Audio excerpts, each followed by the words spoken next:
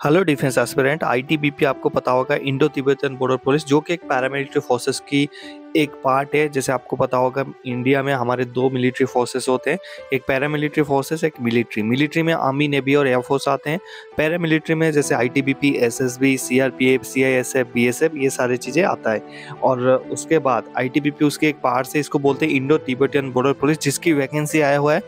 और ये male and female दोनों के लिए इसमें एलिजिबल है, आप दोनों अप्लाई कर सकते हैं। एसआई का पोस्ट आया है सब इंस्पेक्टर का हेड कॉन्स्टेबल का भी आया है और कॉन्स्टेबल आप जिसके लिए भी क्वालिफिकेशन आपकी है एज है, आप उसमें अप्लाई कर सकते हैं। टोटल 526 पोस्ट आया हुआ है 526 पोस्ट आया है ऑनलाइन एप्लीकेशन फॉर्म है, आप इसको अप्लाई करेंगे। जो सबसे पहला जो डेट का मैंने आपको क्लियर कर देता हूँ पोस्ट में थोड़ी बाद में बताऊँगा।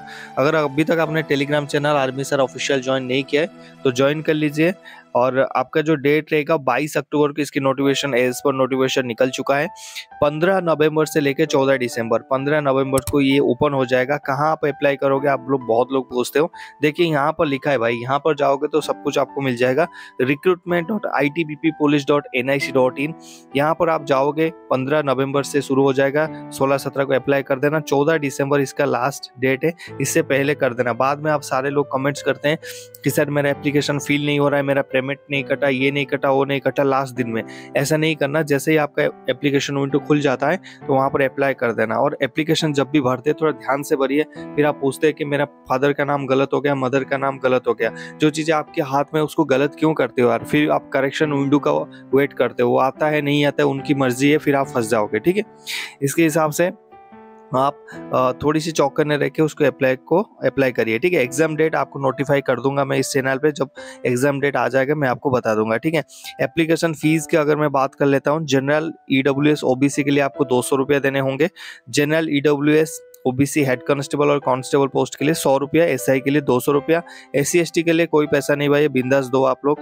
मोड ऑफ़ पेमेंट आपका यहाँ पर ऑनलाइन रहेगा, ठीक है? अब चलते हैं पोस्ट की थोड़ा देख लेते हैं, कौन सी पोस्ट क्या है एज देख लेते हैं एज में क्या है।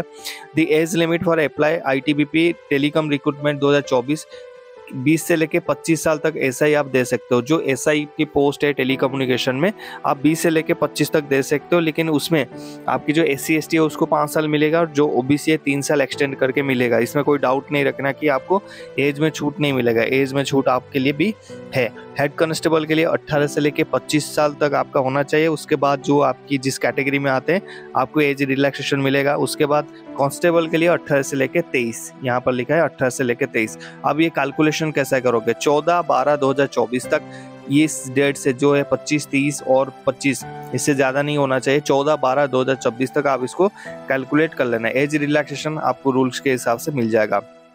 अब आते हैं, हमारे क्वालिफिकेशन क्या चाहिए? सब इंस्पेक्टर टेलीकॉम के लिए 92 वैकेंसीज है, जो कि सब इंस्पेक्टर है, ठीक है? उसके लिए आपको वैकेंसी जो चाहिए बीएससी बीटेक और बीसीए ये तीनों क्वालिफिकेशन चाहिए।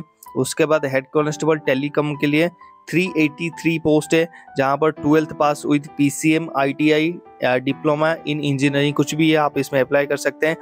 कांस्टेबल टेलीकॉम के लिए 51 पोस्ट है, जिसमें सिर्फ़ आपको टेंथ पास चाहिए, कोई क्वालिफिकेशन नहीं चाहिए, आप सिर्फ़ टेंथ पास में इसको अप्लाई कर पाएँगे, ठीक है? यहाँ पर पोस्ट का मैं आपको वेरिएशन बता देता हूँ, किस लोग के लिए कितने पोस्ट हैं। देखिए ऑल इंडिया वैकेंसी है, आप किसी भी राज्य से आप इसको अप्लाई कर सकते हैं मेल है फीमेल है, आप अप्लाई कर सकती हैं। सब इंस्पेक्टर टेलीकम्युनिकेशन मेल के लिए जनरल में 31 पोस्ट है, एससी के लिए 12 एसटी के लिए 6 ओबीसी के लिए 21 ईडब्ल्यूएस के लिए 8 टोटल 78 पोस्ट है बॉयज़ के लिए। सब इंस्पेक्टर टेलीकम्युनिकेशन फीमेल के लिए जनरल में 6 एससी में 2 एसटी में 1 ओबीसी में 4 और ईडब्ल्यूएस में 1 टोटल 14 पोस्ट है। तो टोटल आपका 92 पोस्ट यहाँ पर हो जाएगा एसआई के लिए, ठीक है? अब आते हैं हेड कांस्टेबल में, मेल के लिए। आपका 123 जनरल के लिए एसटी के लिए 50 एससी के लिए एसटी के लिए 26 और एससी के लिए 50 ओबीसी के लिए 90 ईडब्ल्यूएस के लिए 36 टोटल आपका 325 पोस्ट है। हेड कांस्टेबल फीमेल के लिए 22 है जनरल के लिए एससी है 9 एसटी है 5 ओबीसी है 16 ईडब्ल्यूएस है 6 तो वैकेंसी हो जाएगा आपका टोटल 58 टोटल 383 पोस्ट आपका हो जाएगा। यहाँ पर कौन सी पोस्ट हो जाएगा? हेड कांस्टेबल टेलीकम्युनिकेशन अब आते हैं कांस्टेबल देखिए यहाँ पर आप कंफ्यूज हो रहे हैं। मैं बार बार आपको बोल रहा हूँ सब इंस्पेक्टर हेड कांस्टेबल और कांस्टेबल देखिए ये जो रैंक्स की फ़र्क होता है ये सैलरी की फ़र्क होता है। कांस्टेबल की जो सैलरी है वो 38 से लेके 40,000 या 35 के आसपास स्टार्टिंग होगा। 35 38 के आसपास और उसके ऊपर से आपका जो हेड कांस्टेबल टेलीकम्युनिकेशन है उसकी जो सैलरी है वो 45 से लेके 50 के आसपास होगा। 40 से लेके 50,000 के अंदर अंदर आपकी आ जाएगा। और उसके बाहर अगर एसआई की देखो तो 60 से लेके 70 के अंदर ये आपको मिल जाएँगे ठीक है? उसके बाद कांस्टेबल टेलीकम्युनिकेशन मेल में 19 आपका यूआर में रहेगा 19 सात आपका एससी में और उसके बाद एसटी में दो ओबीसी में 11 और ईडब्ल्यू में पाँच टोटल 44 पोस्ट है। कांस्टेबल फीमेल में तीन आपके रहेगा जनरल में, एक रहेगा आपका एससी में एसटी में ज़ीरो ओबीसी में दो और ईडब्ल्यूएस में एक। टोटल आपका 44 पोस्ट रहेगा मेल के लिए और सात पोस्ट रहेगा फीमेल के लिए। तो टोटल 51 पोस्ट रहेगा। यहाँ पर आपकी कांस्टेबल में, ठीक है? अब समझ गए ना? सैलरी में सिर्फ़ फ़र्क है और जो कांस्टेबल टेलीकम्युनिकेशन में आपको कोई भी क्वालिफिकेशन मतलब एक्स्ट्रा क्वालिफिकेशन कुछ भी नहीं चाहिए तो आप इसमें अप्लाई कर सकते हैं, बिंदास। अब आते हैं सिलेक्शन प्रोसेस के ऊपर। सिलेक्शन प्रोसेस देखिए, पहले आपकी रिटिन एग्जामिनेशन होगा। पहले क्या होगा आपका? रिटिन होगा। तो रिटिन के लिए देखिए, आप लोग बहुत ज़्यादा सोचते हो रिटिन के लिए ज़्यादा नहीं सोचना। हमारे मेंटरशिप ग्रुप ज्वाइन कर लेना, अगर आप ज्वाइन करना चाहते हैं। वहाँ पर हम कोशिश करेंगे आपको मेंटर करने के लिए आप कैसे कर सकते हैं। आपके लिए कुछ टाइम फ्रेम मिलेगा, मान लीजिए आपके दिसंबर में फॉर्म खत्म हो रहा है तो जनवरी में आपकी इसका एग्ज़ाम होगा।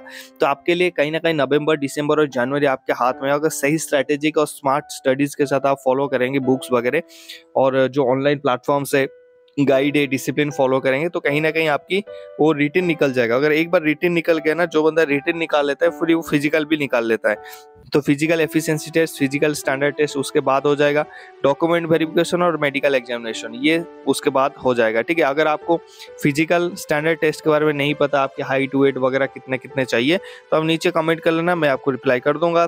बाकी आपकी और भी कुछ डाउट है, आपका इसका जो पीडीएफ है ऑफिशियली पीडीएफ मैं आपको डाल दूँगा हमारे आर्मी सर टेलीग्राम चैनल पे वहाँ से डाउनलोड करके देख लेना। इसके अलावा और कुछ डाउट है, आप नीचे कमेंट करिए कौन कौन इसमें अप्लाई कर रहे हैं और कहाँ से आप बिलोंग करते हैं, नीचे कमेंट पे लिखिए। मिलते हैं नेक्स्ट टॉपिक में गाइज़ जय हिंद।